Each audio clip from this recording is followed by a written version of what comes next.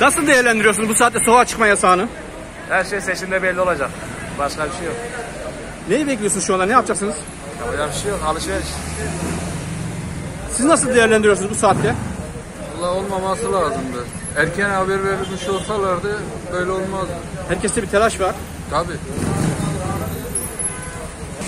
Nasıl değerlendiriyorsunuz bu saatte sokağa çıkma yasağını? Çok yanlış bir olay, çok yanlış bir olay. Görüyorsunuz yoğunluğu. Çok sıkıntıyız, çok zor durumdayız beyefendi.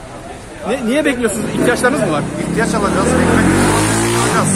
Bulamazsak zor durumdayız. İşe gidiyor musunuz yani? İşe falan gidecek misiniz? Bilmiyoruz, hiçbir bilgimiz yok. Her ihtimale karşı bir yapacağız. Siz nasıl değerlendiriyorsunuz sokağa çıkma yasağını? Bu saatte?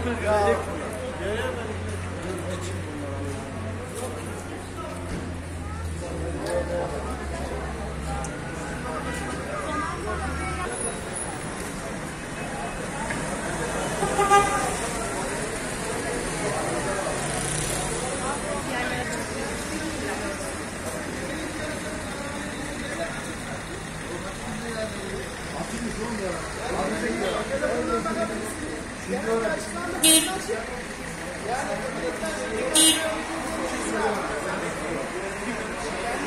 en genciniz, en dirençli insan kimse izin alacak, çıkacak, ihtiyacını karşılayacak.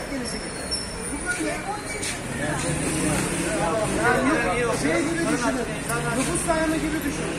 Nüfus sayımında nasılsa bunda da.